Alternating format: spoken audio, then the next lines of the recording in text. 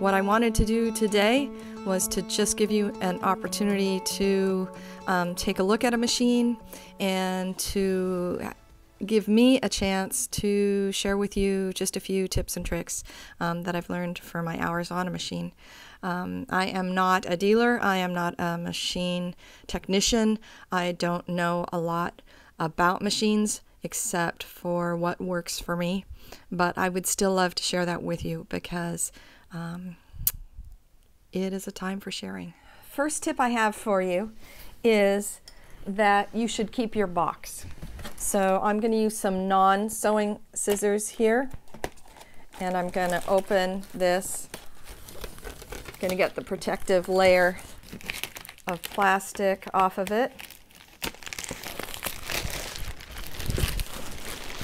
And I want to very carefully open the box. There are people that keep boxes like this. You know, people that do that for their electronics, things like that. And there are people that don't. My suggestion is that you keep this box. And I have a tip for you.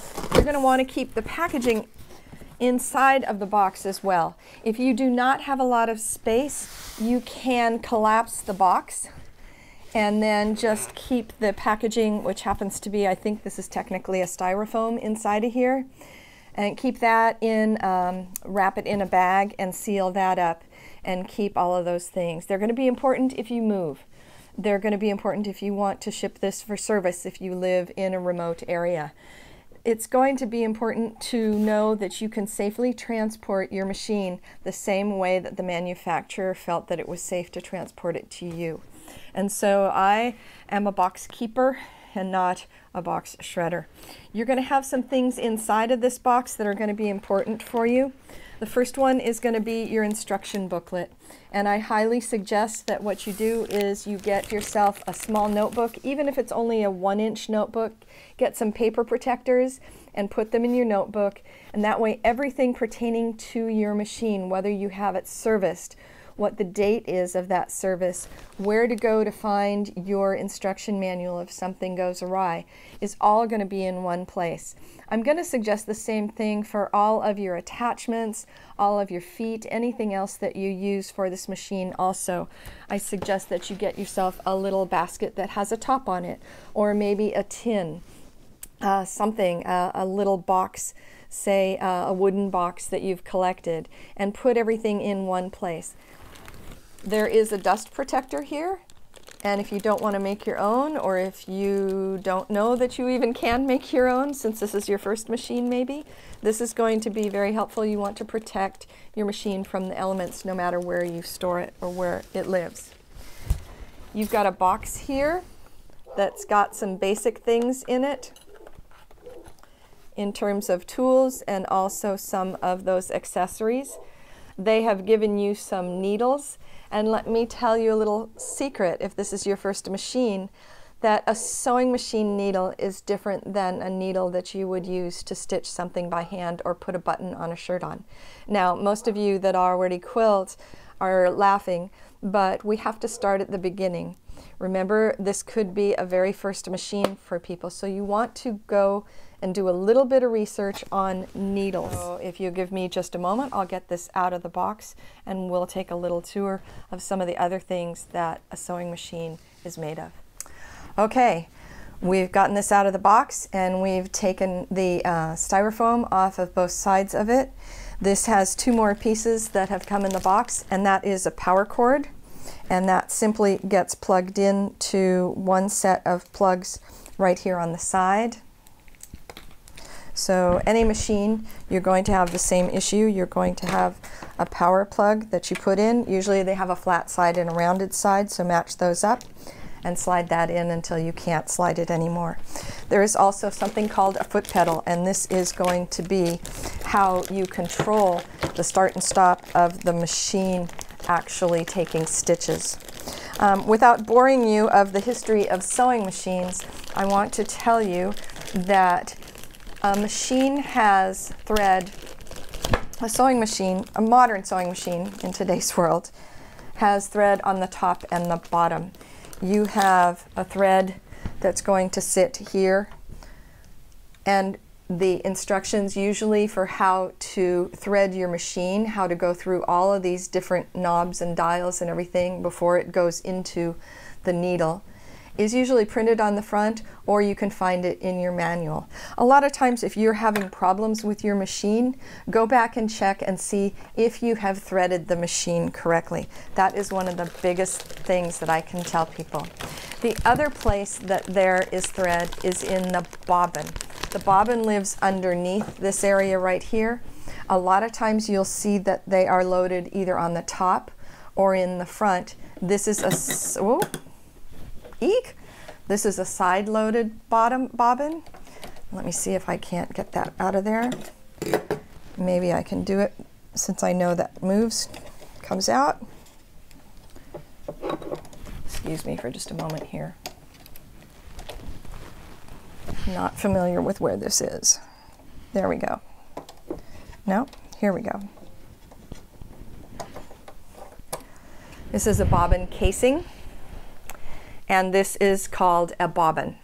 And this bobbin right here will also have thread on it. You need to wind that. Most machines will have a bobbin winder, which is what this is right here. And that allows you to thread into this, again, this is all related to tension, area here and onto the bobbin. You wind this, you cut this in half, and then you put this in with some instruction about where the thread is supposed to lay. And then this goes back into that bobbin casing. So you have thread on the top and on the bottom. Because as you can imagine, I'm not going to mess with this right now.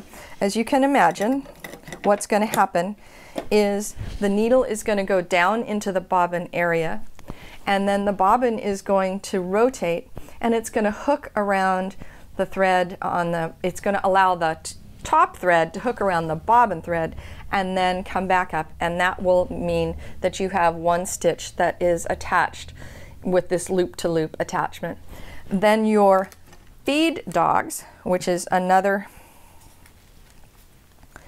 um, term that you need to know, which are these three little grooves right here, are going like this, and they're helping the fabric move along so that the next time the needle goes down and is caught on that rotary catch thingy, which I don't have the exact name of because I told you I'm not a machine person, but it catches on that and then brings it back up is in the next place. And then the feed dog moves it again. And this all happens in this machine, as an example, at 1600 stitches per minute. So that's very fast. That's a lot of that happening all at once. So every time the needle goes down, there's something in, on the bottom that's spinning, throwing a, throwing a thread around another thread and making that link.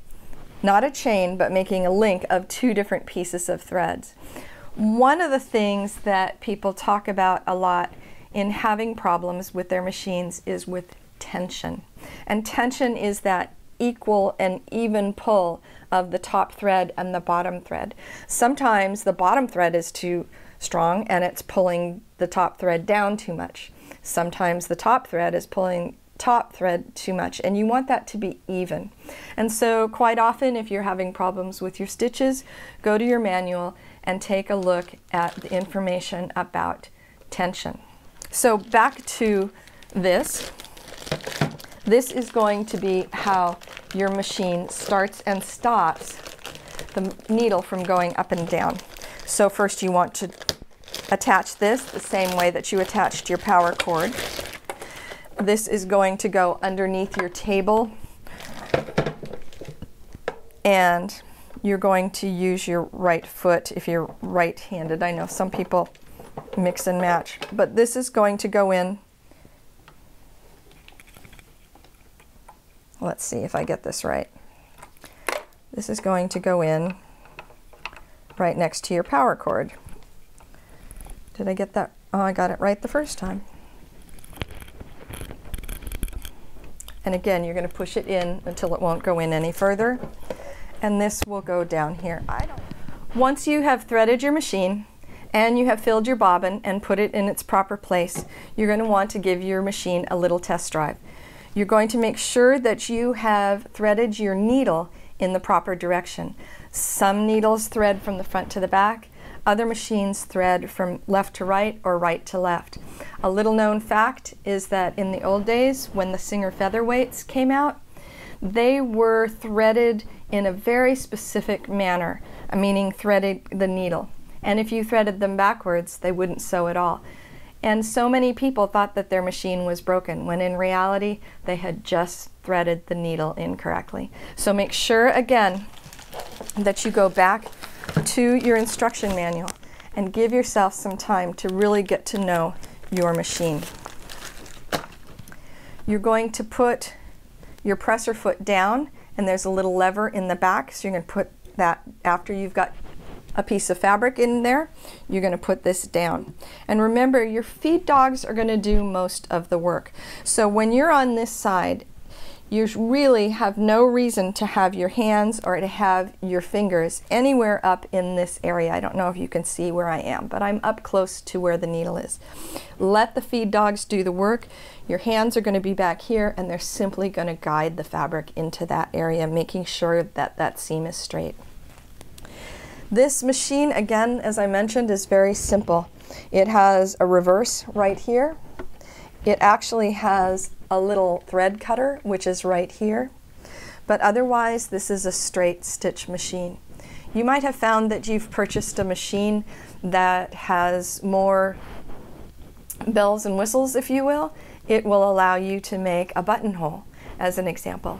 It will allow you some decorative stitches or maybe a zigzag stitch. As you can imagine, this is a straight stitch. A zigzag is going to go like this and make little zigs and zags. And so all of these things I know are new to you if you have just purchased a machine. And so you're going to want to spend some time with your manual. But remember, just the basics, please keep your hands away from where the needle is.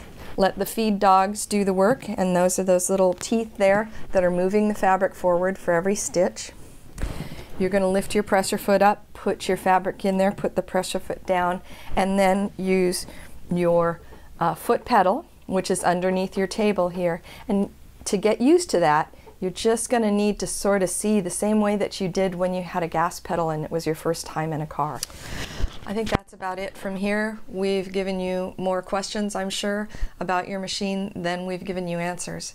But you can always find the technical information about the thingamajigger or the whatchamacallit in your manual that came with your machine.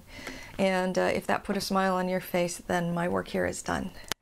Now it's time for you to start and work on some masks or some other thing that you can send off to someone and thank them for the work that they're doing. For our medical professionals, for the people that are our essential workers, a way that if you could, you would give them that, that big old bear hug. but for now, all you can do is say thank you from afar. And just like me, I will say um, from my home to yours, uh, stay safe and stay well.